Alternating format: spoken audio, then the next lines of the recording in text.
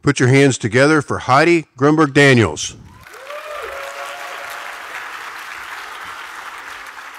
Hello, ladies and gentlemen. I'm Heidi Grunberg Daniels. This evening, we're going to take a meandering little walk through several different stories.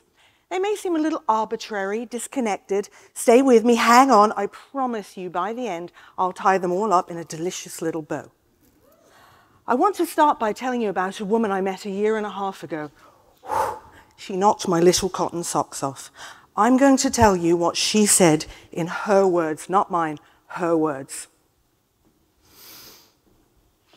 My mother was a crackhead. By age nine, I too was a crackhead.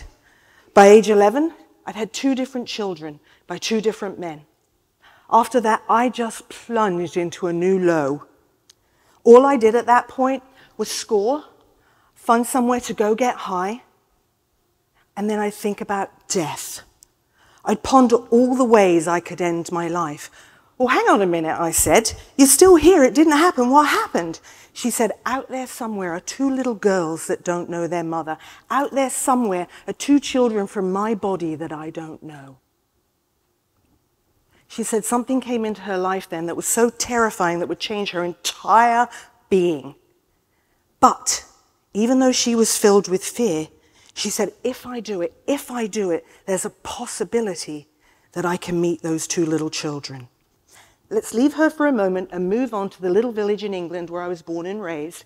I'd walk through country lanes and village streets over the years, and I would watch the trees have their evolution. In the winter, trees are stark, hard, angular, almost angry and barren. And then as you continue to walk, the trees get little buds, and the little buds became deep green leaves that reach up to the sun and the warmth.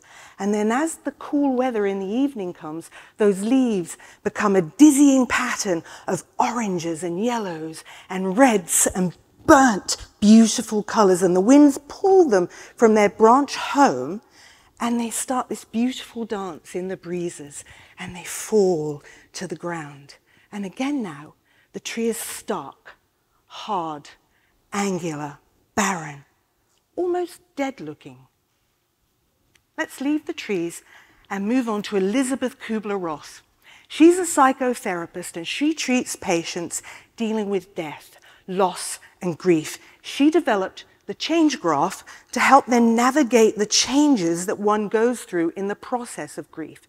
We all go through change, or we try to go through change. When we first think about change, we stand at the precipice of something really difficult and unknown. Many of us never do it, and some boldly push through to the new. Let's now move on to Sisyphus. Sisyphus in Greek mythology was doomed to push a boulder through eternity.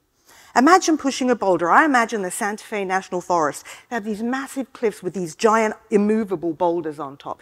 Imagine trying to push and push and push a boulder. Nothing happens. You put your back into it and you push with all your might. Nothing. You think, I'll push one more time and then that's it. I'm done. You push with every, everything you've got. That little vein in your forehead pops out, but you continue to push and you sweat and you push and eek. Wait, did I hear that?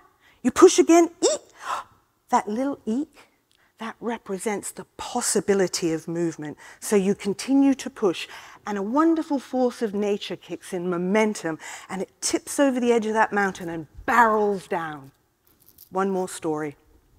A gentleman owns a shoe factory, and he calls in his top two shoe salesmen. He says, Lads, I've acquired a brand new territory, and as my top two shoe salesman, I want you two to go out and conquer it. Fantastic, we're honored, sir. Where's this new territory, they say? Africa, the boss says. Big pregnant pause. Africa? The first shoe salesman says. But they don't wear shoes. The second salesman rises really, really slowly.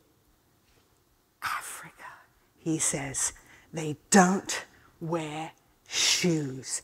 Where one salesman saw nothing, the other salesman saw nothing but possibility. Like the trees in the winter, the life is no longer on the outside. The life now is underground. Bubbling in those roots is the possibility of next year's journey. Like Elizabeth Kubler-Ross's change graph, when we stand on the precipice, We all have to navigate the uncomfortable to get to the possibility of something new. Like Sisyphus pushing the boulder, the little eek, the possibility of movement, and the gentleman with the shoes, the possibility of shoes for a whole continent that doesn't wear any. The young lady we started with, she changed her entire existence because of the possibility of seeing her two children. I can tell you now, she is clean and sober. She went to school. She has a job and she got her two girls back and she gave them something she never had, a home. The last thing she said to me has nothing to do with possibility, but so bloody excellent, I want to share with you anyway. She said, and, and I am a tax-paying citizen of Volusia County. Ladies and gentlemen, have a possibility-filled evening.